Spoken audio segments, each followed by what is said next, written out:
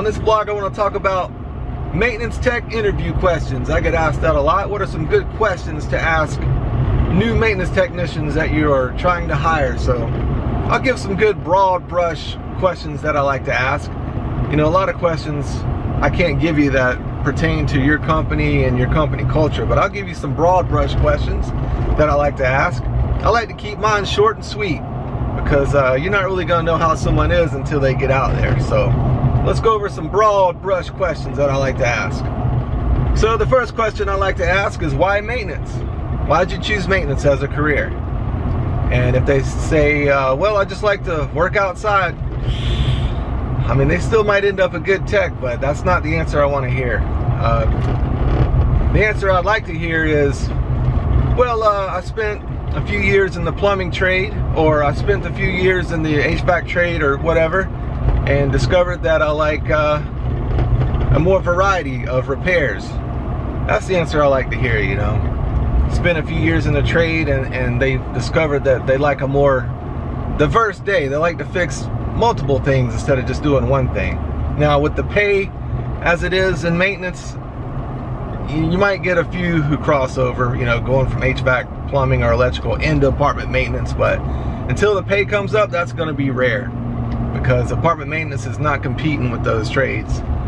So, but it can happen. So that's the answer I wanna hear after asking somebody, why maintenance? Why are you choosing maintenance? because they prefer to work on a variety of things. But if they say, well, I just like to get paid and work outside, that's when, you know, a little bit of a red flag. So, all right, on to the next question. And my second question is pretty important. I always ask, do you own basic hand tools? Now, you would think you wouldn't have to ask this, but you would be surprised how many guys show up to their handyman job with just their bare hands. So, I like to ask, do you own tools?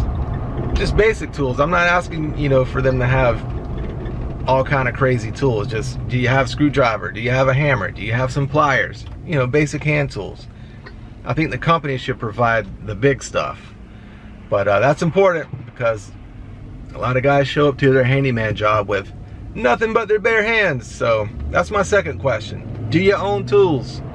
And the third question, are you experienced in HVAC? This is a popular question. Everybody wants the HVAC guy. Now, before we get into this, let me just rant here a little bit. Property managers, turn your turn your phone up or your computer. The EPA card means nothing. Okay? I'm not here to trash the, the EPA card because you gotta have it. All that is though is just so that you can legally carry refrigerant. You're not coming out of an EPA course as an HVAC guru knowing how to work on all equipment. All they teach you in this EPA course is it's illegal to vent refrigerant or freon as a lot of managers call it. That's all that is. Having an EPA card doesn't mean you're some HVAC guru that can do everything. So I think that's holding back a lot of people. You know, you're, you're not hiring a lot of good guys because, oh, well, he didn't have his EPA card, so we just, we didn't hire him. I didn't have my EPA card, but a guy gave me a chance. Could you imagine, you know, he, if he would have turned me away, who knows where my life would have gone? I don't know. And uh, I didn't have my EPA card, but the guy gave me a chance. Same with Johnnie Cochran too, like the, the famous O.J. Simpson lawyer. Looked like Johnnie Cochran too. It was, it was pretty funny. I'll always remember that guy, and, and, I'm, and I'm blessed that he gave me a chance. So anyway, property managers, enough with the EPA card myth, man. That's a myth that's been traveling through the multifamily housing industry faster than a crop duster's fart at Walmart. Enough with the EPA card stuff. Doesn't make you an HVAC guru. And with that said, everyone should go on call. Everyone should burden or carry the on-call burden as a team. You know, a lot of a lot of people say, well, he can't go on call. He don't have his EPA card. You don't need an EPA card to suck water out of a float switch. You don't need an EPA card to roll a window unit into an apartment until somebody can get there at normal hours. An HVAC problem that's bigger than a float switch anyway, or something easy, you're getting a, a window unit anyway. So everyone should shoulder the on-call burden. The EPA card stuff is uh, that's one thing that gets under my skin. All right, now that I got that out of the way, I had to rant about that for a, for a little bit.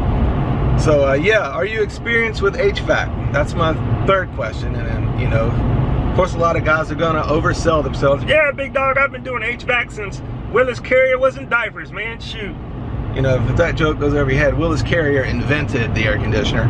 So yeah, they'll oversell themselves and I'll, and I'll say, oh great, cool. Well, uh, let's roll through a very simple HVAC uh, scenario here. So you roll up on a unit and it's low on refrigerant. And uh, you open the air handler and you see that there's a piston in there as a metering device for the metering device. How would you uh, how would you charge the unit? What method would you use to charge the unit?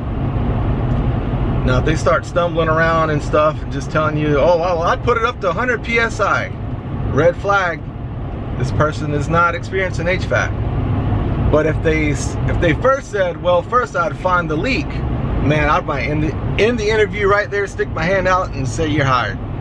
If he said, first I'd find the leak, that's awesome. You got you got an experienced guy. But then, but if he said, first I'd find the leak and charge it by superheat, because remember it's got a piston in it, stop the interview right there, stick your hand out and hire that man because he's going to be saving you thousands of dollars on HVAC calls. And if he said, first I'd find the leak and charge it by superheat because it has a piston, or if it had a TXV, I'd charge it by subcool. This guy knows what he's talking about. He's good with HVAC. So that's a that's what you want to hear right there. That, that's the answer I'm looking for after I ask somebody if they're good with HVAC, then I roll through a simple scenario. If it's low on refrigerant, you open the air handler and see that the metering device is a piston, and you tell me you're gonna charge by superheat after you fix the leak, man, that's a good answer. But if you tell me you're gonna put it up, sorry about the sun, if you tell me you're gonna put it up to 120 PSI and let it roll, that's not a good answer. Not saying that this guy won't turn out to be a good tech and he's not teachable, but we're going through an interview here. And then after that, I'll just ask them uh, how many years they've been in the business and where they worked at. You know, just the regular interview fluff pretty much after that. I, I keep it simple. You know, you're not really going to know until somebody gets out there and gets, gets to work. But those are my broad brush questions. And then after that, I would just roll through our company culture and stuff and what he can expect. Because a lot of guys roll in, they don't know what to expect. You know, I tell them, you know, I'd ask, are you okay with being on call one week a month? They say, what is on call? Well, you're going to be on call 24 hours a day for a whole week. So just let people know that they're going to be expected to do that and just roll through the company culture, what they're ex expected to do. That's what a lot, that's happened to a lot of guys. They're coming in thinking, oh, I'm just gonna just come in and fix stuff and go home. Well, not really, man. You're gonna have to go on call one week a month or so. So that'll, that'll keep a lot of guys from leaving after they find out the on-call thing. All right, so that's it. Those are my broad brush questions. And uh, as I'm doing that as well, I'm also feeling the guy out, feeling his energy. If he's got bad energy, I'll have to pass. If he's got good energy, good attitude, I'm more I'm pretty likely to hire the guy even if he has a little experience. But uh, those are my broad brush questions. What made you choose maintenance? Um, do you own your own tools? Ask if he's experienced with HVAC and if he says oh yeah I'm awesome with HVAC I'm gonna roll through my little simple question there about the piston and how would you charge the unit. And then after that you know ask him how many years he's been in in the trades or in the uh, multifamily housing industry maintenance industry and then after that, I'm just gonna roll through a little company culture, talk about on call. Are you okay with going on call? And that's pretty much it. So those are my interview questions for those for, for those of you who've uh, been asking. And um, thank you all for watching, and I'll see you in the next video. Thanks.